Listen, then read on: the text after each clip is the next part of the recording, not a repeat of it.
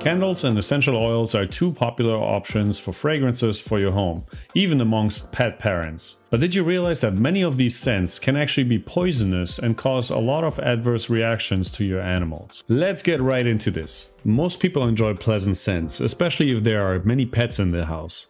But did you know that some household items, including scented candles, incense, essential oils, and diffusers, can be harmful to your pets?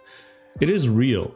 Some scents can affect your animals in a variety of ways. The good news is that once you know which scents are safe for your pets and which ones to avoid, you can still use a lot of them. What effects can scents have on your cats and dogs? Everything contains essential oils in different scents. Including in this are candles, air fresheners, diffusers, cleaning supplies, drink flavoring, perfumes, personal care items, liquid potpourri. Additionally, a lot of pet owners don't know that some scents are toxic to animals until they've made the dreadful trip to the vet with the sick animal. Due to a substance called phenols, Essential oils can make our pets ill. Containing high concentrations of phenols, which are naturally present in plants, these substances are conveniently absorbed through the nose, mouth and skin. The liver in humans breaks down the phenols, reducing their toxicity. However, due to their lower levels of liver enzymes, cats are especially vulnerable. As a result, they are unable to metabolize all of these various chemicals as effectively as we can.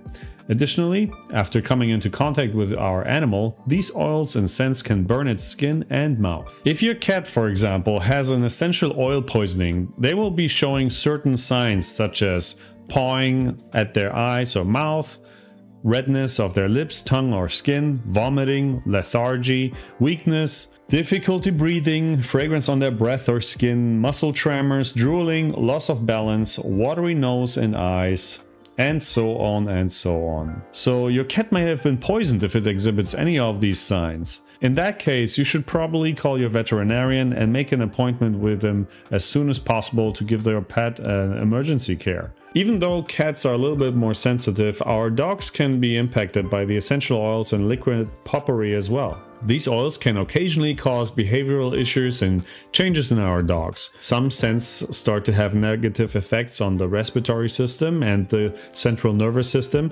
And uh, actually, particularly tea tree oil, which is one of my favorite essential oils, can be harmful to our dog's digestive system and if it comes into their mouth. But you know, mistakes happen, and in that case as well, a quick call to your veterinarian would be probably a good idea. So specifically, which scents might be harmful to our pets? It is still possible to enjoy nice smelling oils and different fragrances as long as we select the ones that won't hurt our animals and to use with care and not leave the aromas on for the entire day. Here's a list of the toxic scents and essential oils that you should definitely avoid. Tea tree, clove, citrus, cinnamon, ylang ylang, pine, eucalyptus, wintergreen, pennyroyal. And here's a list of the scents that are actually okay for your dogs and cats. Dogs are okay with myrrh, frankincense, chamomile, peppermint, lavender, ginger, and rosemary. And the essential oils for cats include frankincense, lavender, copaiba, helichrysum, and chamomile.